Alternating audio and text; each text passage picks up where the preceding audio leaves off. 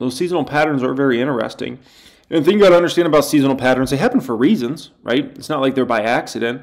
Uh, sometimes it depends on inflows and outflows of money in different funds. Give me, give me more PayPal shares now. Give me them. I want them all. I want every freaking share. Give me them all from kind of a perspective of, of let's say like what are the orders coming in for Tully Moly? What's the guidance? The conference call is going to be really important. Hats in the Howdy, folks. They really hello. They need to be putting hello. these in their hello, hello, hello. Oh, what is defensive this? nature to them. And why would that change anytime soon? So you're getting a little bit of everything. Yes, so I, I think those names are, are going to continue to. Hold your horses. What we got here? Report. PayPal ramping up new features to compete with Apple Pay and Stripe. Okay. Teams across payment tech giant PayPal are rushing to add a raft of new features to make its digital wallet and online checkout more appealing to shoppers and merchants, according to a Media Report. As if they weren't already appealing enough, they're taking it to another level, right? The company's new CEO, Alex Chriss, is ramping up efforts to defend itself against competitors such as Stripe, Apple Pay, in a project codenamed Quantum Leap. Okay, Mr. Alex Chriss, let's freaking go, dude. That's what I'm talking about. The information reported citing two of the company's employees. Uh, the initiative aims to mark meaningful progress by January with the aim to roll out changes as early as March. Whoa. The report said, citing an internal document, Ooh, interesting. Internal document. It's seeking to boost growth and profits by getting more shoppers and merchants to use PayPal products, which are more profitable than the company's Braintree products. Improving the checkout experience was named the top enterprise priority in the document. Okay. Quantum Leap reportedly includes streamlining the, the checkout process, redesigning PayPal's consumer app, and quicker integration for merchants and other, among other features. Give me, give me more PayPal shares now. Give me them. I want them all. I want every freaking share. Give me them all. Sometimes you just wake up and you say, I need more PayPal shares right now. Give me them. Give me them.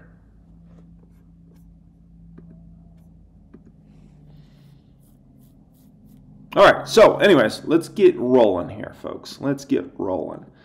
Um.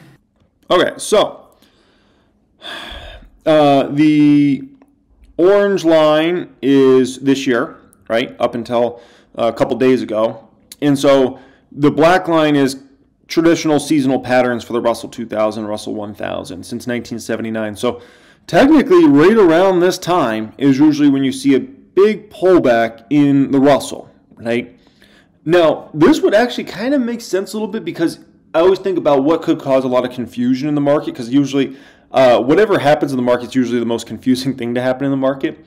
And this would cause a lot of folks to really think, oh, it's not small caps time yet, right? Like if you got a, pull, a pullback in the Russell for, let's say, the remainder of this month, so the next three weeks or whatever, right? A lot of people would think, oh, small caps, it's not their time yet. It's not their time yet. Their time, you know, maybe a few years from now or a year from now or whatever, but it's not their time, right? Not understanding that that's a that's a seasonal pattern with small caps is they pull back in, uh, you know, basically starting in December. They usually, you know, go up at the very beginning of December and then start pulling back, pull back, and then they go on a beast run January, February, March. So we'll see how it plays out, but you know, I always think about what could trick everybody into thinking like one thing's going to happen and and you know get everybody to believe oh that's not going to happen. Small caps still not their time, and then all of a sudden they go on a beast run. So very possible. And um, I mean, a lot of those smalls have already had an incredible run this year. Just to be honest, so I don't know. We'll see. We'll see how it plays out. But those seasonal patterns are very interesting. And the thing you got to understand about seasonal patterns, they happen for reasons, right? It's not like they're by accident. Uh, sometimes it depends on inflows and outflows of money in different funds. Sometimes it can be technical traders making moves based upon this, right? If you're somebody that looks and puts a lot of weight into these patterns, you're going to make your buy and sell decisions, your trading decisions, which much of the market is trading. They're not thinking about the next five years with the stock, they're thinking about the next five days and the next five weeks with the stock, right? So if you're more into the trading activity, you're going to look at something like this and you're going to say, I need to sell my smalls uh, right now because the next few weeks are going to be rough. And then I need to buy them back at the end of December, right? I mean, technically, technically you'd want to buy them back if, if this was to play out before the end of December. Technically, you'd want to buy them back uh, slightly before Christmas, technically. Um, and so there's traders that make moves based upon that, right? They're going to look at something like this and say, I need to dump out of my smalls right now, and I'll get it back in them, you know, just before Christmas time. And then we'll roll for the last week of December, and then we'll roll into January, February, March. So that's an important thing to understand about you know how individuals in the market think, right? Uh, okay, so oh yeah, Chewy's reporting tomorrow after the bell. Uh, Toll Brothers is today. So, and then this MongoDB company that a lot of people are throwing into the AI category is reporting as well after the bell. Dave Buster's is reporting as well after the bell, and Box is reporting today after the bell. Obviously, Toll is the one I'm looking the most forward to. Okay, so let's take a peek here. NIO reported earnings this morning, eh? So let's see NIO IR. My hunch is it was probably a messy earnings, as it always is. Stock is absolutely nothing, up 1% after the earnings. Wow. Unaudited results, okay. Okay, so deliveries 55,000 that compares with deliveries of 31,000 at this time last year, so that's good.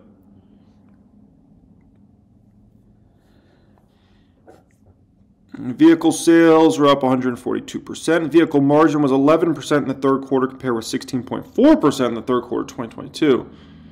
You know, that just means they're facing insane pricing pressure. I mean, the fact that your production would go up immensely on a year-over-year basis, and your margin would go down that much. Just it just means you're facing a lot, and I mean a lot of um, headwinds in regards to pricing. Because as an automaker or any company that manufactures you know big physical products, the more scale you have, the more you're producing, the more profitable and the better margins you should have in theory. So to see that, it's very troubling. Total revenues in the quarter were up about 117%. Gross profit, $208 million, a decrease 12% year over year despite revenue being up 100 plus percent. Gross margin 8% compared to 13%.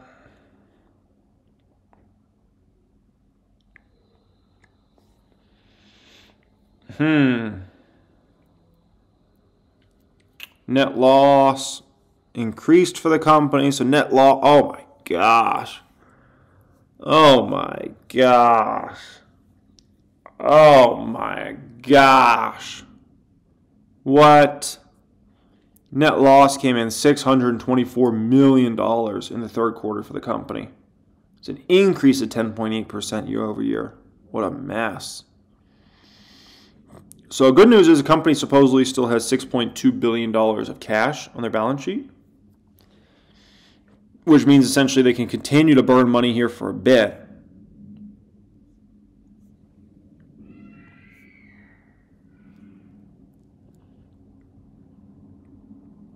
In September and October 2023, 2023, the company completed an offering of $575 million uh, aggregate principal amount of three, at 3.87% convertible senior notes due 2029 and $575 million uh, at 4.62% that are going to be due in 2030. Okay. So I don't even know why the company should have needed more money considering how much they have in cash on the balance sheet. Like But then again, they are burning money like it's nobody's business.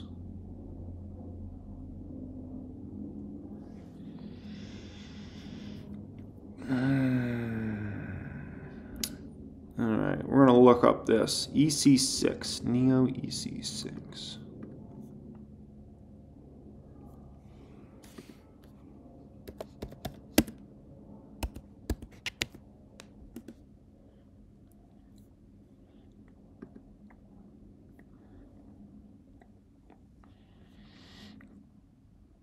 A little bit of a wannabe Model Y. Doesn't it look like a little bit of a model wannabe Model Y?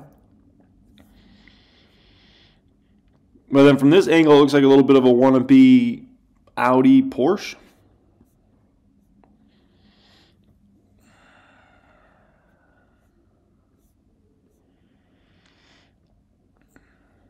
Hmm.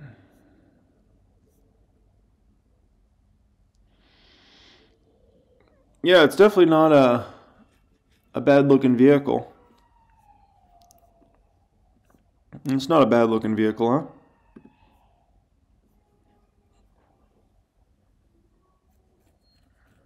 I mean, it reminds me a little bit of Tesla, but also reminds me a little bit of traditional automakers. Um, and kind of look and feel of it.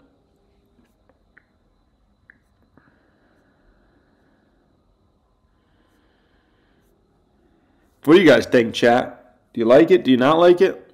This is their new vehicle, the EC6. Do you like it? Do you not like it? Hmm. Hmm. Well, a digital cockpit, they call it. That's funny.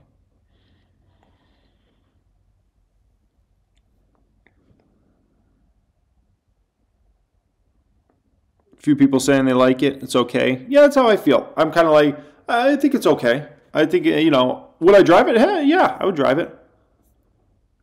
I think it's uh, fine. It is something that makes me say, "Oh my gosh, I, I gotta have that vehicle. It's amazing." No, but um, overall, I think it, it's good, right? But I mean, the problem is their their business model is just a mess. Let's see what the CEO and CFO said. NIO delivered 55,000 vehicles in the third quarter 2023, representing solid growth. Blah blah blah. To retail sales out of China Automotive and Research Center, NIO ranked first in battery electric vehicle uh, market segment priced over RMB 300,000 in China, a market share of 45%. Okay, so they're putting themselves into the higher category. We have we have recently completed a thorough review of the company's two-year operating plans to determine our objective priorities in action plans. Meanwhile, we have identified opportunities to optimize our organization, reduce costs, and enhance uh, efficiency. Our focus remains on advancing core technologies, developing key products, and expanding sales and service capabilities. We are confident in NIO's long-term competitiveness in the electric, electric vehicle market, added Mr. Li. Our vehicle margins increased to 11% in the third quarter of 2023, attributed to elevated average selling prices, ongoing vehicle cost reduction, and economies of scale, added the chief financial officer. In September and October 2023, NIO completed an offering of $1.15 billion, as we spoke about before. So, I don't know, man. I mean, NIO vehicles seem nice. I think they're fine, but the company's a mess on the financial front.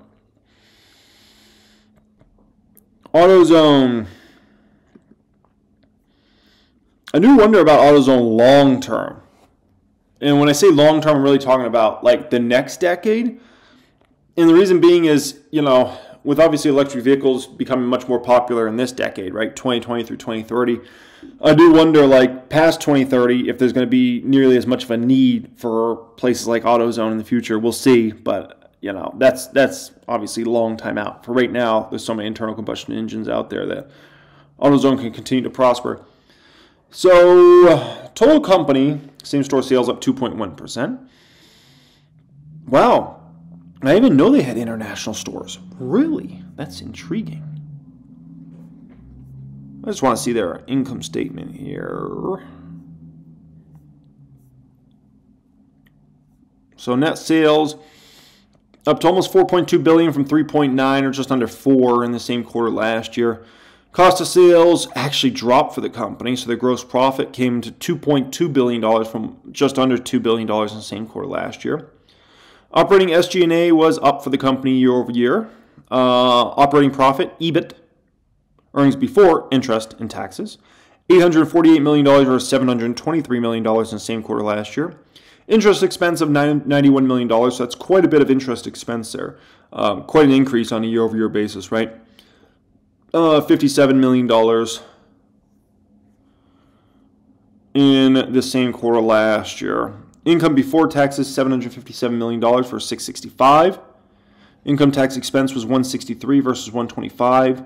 So net income came in at 593 million dollars versus four, uh, 539 million dollars the same quarter last year. EPS was up substantially year over year, $33.51 versus $28 in the same quarter last year. AutoZone usually is buying back a ton of shares, so good for AutoZone. They're usually one you can count on that always comes through with good numbers.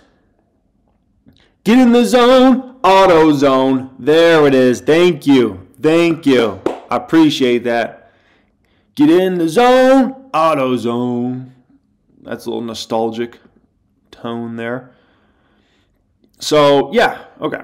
Um, here we go market close activity going on. Full fiscal year of declining sales for Apple, and for this current holiday quarter that we're in now, Scott, Apple saying just buy Tiffany's. Are, we're no. expected to be flat year over year. So investors have been looking for Apple to return to that top line revenue growth and seem to be. We're going to be above Tiffany's. Tiffany's, ugh, big corporate Tiffany's. That's like that's for poor people. We're, we're like above that. We're above Tiffany's. First time in a few months. You know, it's just, it's one of these things. First of all, every year people seem to rediscover that it's a holiday shopping beneficiary. And whether it's true or not, and get, you get a huge push in sales or not, people feel like it is. It makes a lot of sense that it is. Um, and it also is sort of splits the difference between the sort of hyper growth, it's an NVIDIA, it's a Microsoft AI story, and it's just kind of a boring yeah. defensive type thing. So I, I, I run out of sort of edgy, smart things to say about Apple because it just does its own thing. It's not really a reflection of a lot else that's going on except for its own heft and dominance. Yeah, and the reason I want to go custom is is a couple of reasons uh, and kind of my thought process in regards to that. One is uh, people are looking for more custom, tailored products for them nowadays, I think, than, than ever before when it comes to something special like that. Secondly, a lot of people are getting married way later in life, right? It, like, you know, previous generations, like people got married in their 20s and they really didn't have much money. Nowadays, a lot of these people are finally getting married when they're already millionaires, multimillionaires, like when they're already, you know, 30s, mid 30s, late 30s, 40s, because everything's kind of getting pushed back. Like people having kids is getting pushed back. So a lot of people are have way more money when they go to get married than they did in in obviously previous generations when you know they were really tight on money and those sorts of things. So just another kind of thought process I the have. Billings in October were quote not as strong as they were in the third quarter. That spooked investors. He says he said at the time we didn't see growth in October like it was in the third quarter, and he pointed out uh, some weakness there in travel and entertainment, T&E there. Goods and services, he said, remained relatively strong. And for context, Amex's growth in the third quarter was about 7%. He did say November billings were in line with Q3 and that U.S. consumer retail was very strong. He said from Thanksgiving all the way to Cyber Monday, he was, quote, encouraged That's by good. that. Where he pointed to their more affluent client base. He says he's not seeing a slowdown in demand for those premium fee paying cardholders did say they're seeing double digit growth still in international billings, which is one of Look the at that move. Margin. Look at that move in Amex straight down and then what a move. My gosh. I don't know if it really should have slid there. And that's Broadcom. Yeah. This week, um, this is the stock that the Bulls. Somebody said uh, AutoZone gets my business for wipers, bulbs, touch-up paint, waxes. Yeah, no doubt. AutoZone. I used to go to AutoZone all the time back in the day. And, the older car you have, the more you're going to go to somewhere like AutoZone. MongoDB is first. Uh, Christina. Oh, MongoDB. Nice. Yeah, it's another software as a service company hit hard, missing across the board oh, with its Q3 box. earnings report. Got EPS box. was two cents light on revenues of $262 million, also light. I caught up though with the CEO, uh, Aaron Levie, who said, or Levie, I should say, who said they received less money than expected for the sale of data center equipment as they continue to migrate to the cloud. aka pricing for the secondhand equipment market is falling. As for Q4 guidance, both earnings and revenues also a miss. The company blaming weakness in international markets and currency headwinds, considering one third of their total revenues comes outside of the U.S., with the majority priced in yen. So the strong U.S. dollar didn't help their guidance. And and that's why you're seeing shares drop uh, dramatically, about 8%. All right. Yeah, rough environment for Aaron Levie there. Um, Adam, we got MongoDB and Asana that we also expect to hear from. Asana sometimes moves Mongo's big. the top weighted name in the WCLD Cloud Index, which has been up about 20%, I think, since the November 1st low. How important is a Asana name moving down so far, whether Some of 3.5%. these cloud names can continue to run? Yeah, I think they're Still waiting on important. You know, Toll. it's hard with these Ooh, Mondo caps MongoDB companies is down big, take years by looking 8.6% to see these already. moves, so it's really hard Dave and Buster's down 5.7%. Uh, you know, you definitely are seeing companies Box down start to look closer at their 8.8%, and Asana's down as well. And so, you know, the companies that sell really critical products are going to benefit, and others that are perhaps more on the periphery of importance, you know, they could fall by the wayside, and you're probably seeing that play out a little bit. You know, Avago later this week is going to be more interesting play, and then Oracle is going to be coming, uh, you know, in the next week or two. They're also going to be provide critical insight. So it's hard to kind of extrapolate some of these mid cap names. so Siggy said, Jeremy, it's Mongo, not Mondo. I want to keep calling him Mondo, like you know the like the movie, the Mondo Burger. What movie is that? Are they making the Mondo burgers in, the, in that movie? Around the corner. What movie is that? Eugene, Yeah, it's, it's surprising with MongoDB. It's a data storage company, and they did beat for Q3. Earnings per share That's came in at 96 EPS cents a share when the street was expecting 50 cents. So that's a 46 cent beat on 433 million dollars in revenue for Q4. Strong Q4 revenue guidance, strong Q4 EPS guidance. Uh, so I'm going through the report too, relatively positive. So I'll have to get back to you on why we're seeing this uh, stock drop, which is lifted off the lows of 8% now. Switching over to Asana, which is also a software as a service company, what we're seeing is a smaller loss per share than expected at 4 cents. So the company lost 4 cents in Q3. The street was expecting 11 cent loss on revenues of 167 million dollars. That's a, a little bit higher than anticipated. Uh, the Q4 loss per share guidance. So again, the company is not profitable. Uh, that came in a little bit smaller uh, than the loss, I should say, smaller than anticipated. So that's a strength. So overall, strength for the guidance uh, and a beat on Q3 for um, Asana, software as a service. And but you can see both these companies just dropping dramatically. Could have something to do with Box that we spoke about earlier I too, mean, just across the board. It's not that about the software dramatic. Space. Six John. percent. I'll take it. Christina, thank Or you. Morgan. Thanks. Shares of CVS getting a healthy bounce today as the company revamps how it prices prescription drugs. We're going to talk to a portfolio manager who holds the stock. All right, here's Asana for you guys here. All right, now I'm going to work on Dave and Buster's. What movie is this from? Buster! The Buster brought me back! The Buster brought me back!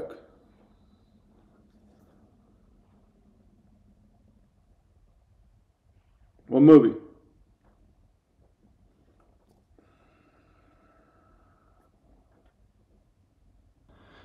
But yeah, he lives in Vegas. And I was like, what? Nicolas Cage lives in Vegas? I was surprised at that because I had no clue. He lives in like a weird community too. Like one of those communities that was like really super nice, probably like 50 years ago, but now I don't want to say it's that nice. Um, okay, so uh, what else do we have here? Still? Still? No freaking earnings. What is this? They're to build something in Phoenix. Look at this. 456 unit luxury rental community in Phoenix. I might have heard something about this. Uh, project being financed, $86 million construction loan facility, Santander Bank, equity and debt. Were arranged by Toll Brothers. Um, Lumar is located in the heart of Deer Valley submarket in North Phoenix, just 10 minute drive from Taiwan's semiconductor. okay. All right, somebody says net income earnings per share uh 445 million 411 compared to 640. Okay. So, yeah, no one really cares that much about the current numbers. They're mainly looking at it um, from kind of a perspective of, of, let's say, like, what are the orders coming in for Tolly Moly? What's the guidance? The conference call is going to be really important with the C- CEO and CFO on kind of what they're seeing in the housing market overall. So, it's amazing. Everybody in the world has Toll Brother numbers except for me. And where do I look for Toll Brother numbers? Where the place you're supposed to look for the Toll Brother numbers, and they still don't have them up. Like, come on, Toly Moly. Like, what are we doing here, man? Well, anyways, Okay, so Tully Moly's up slightly after hours. We'll see. We'll listen to their conference call if we can get access to that conference call uh, tomorrow, because their conference call happens in the morning. But we'll listen to it probably after the market closes tomorrow, and uh, we'll listen to that together. And I think that could actually be a good learning opportunity for folks to kind of uh, you know hear how I listen to a conference call, what I think is interesting, important, those sorts of things. Uh, Mondo, Mondo, even though it's Mongo, Mondo is down about 3.6%. Holy smoke, smokers, that caught me off guard. Uh, Dave and Buster's, uh, appreciate the gift. Thank you, thank you. Uh, Dave and Buster's, down about 3% after hours here. We have Box down about 11% plus here after hours, and Asana is down about 8% after hours. And if you missed earlier, we spoke about small cap seasonality usually over the next week or two. Usually small caps are weak and then they start to strengthen, um, let's call it slightly before Christmas. Uh, earnings, so yeah, we went over all those babies. Tomorrow after the bell, C3AI and Chewy's reporting. Uh, C3AI gets put into the category of kind of like a Palantir, even though, you know, I think everybody that's Palantir Bull would say that's not that's not right. But anyways, that goes on. Uh, Thursday is going to be a really fun day because you have DocuSign, which is interesting, but then you have Lululemon, RH, and Vail Resorts all reporting. I call them three rich people stocks. So that should be really interesting. And we will listen to the RH conference call live, live on Thursday after the bell. That's going to be a really fun one, folks. So uh, with that being said, everybody else in the world has Toll Brother numbers except me. We will go over the told numbers in depth tomorrow if they finally have them on the website tomorrow, hopefully, and uh, that should be fun. And then C minus for Asana, uh, a D grade balance or income statement for Dave and Buster's. Hey, a D for Dave. And uh, Box got a C minus for theirs. Okay. All right, folks. I appreciate you joining me. Thanks so much for being here as always. And other than that, folks, I will see you tomorrow. Other than uh, on the main channel tonight. So much love, folks. Have a great one. Peace.